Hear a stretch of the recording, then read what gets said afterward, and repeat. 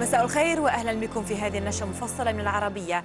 أعلنت السلطات التونسية حظر التجول في مدينة بن قردان الحدودية مع ليبيا بعد مواجهات عنيفة يخوضها الجيش مع متطرفين من داعش.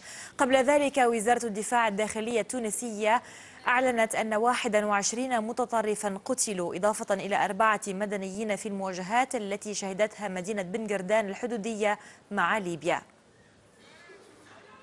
قتلى في صفوف المدنيين والأمنيين على حد السواء بينهم فتى في الثانية عشر في الهجوم الإرهابي الذي استهدف منشآت أمنية وعسكرية في منطقة بنجردان الحدودية مع ليبيا. المواجهات أسفرت عن مقتل عدد من المتطرفين واعتقل آخرون شاركوا في الهجوم ودعت السلطات السكان إلى ملازمة بيوتهم خشية وجود مسلحين مختبئين.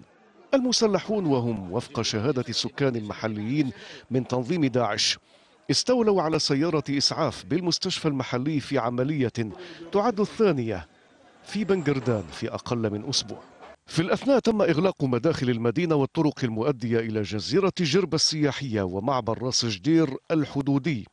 وحلقت طائرات عسكرية في المنطقة للمساعدة في تعقب مسلحين آخرين لاذوا بالفرار. رئيس الحكومة لحبيب الصيد اجتمع بوزيري الدفاع والداخلية لمتابعة تطورات الوضع الأمني والإجراءات الإضافية التي يجب اتخاذها.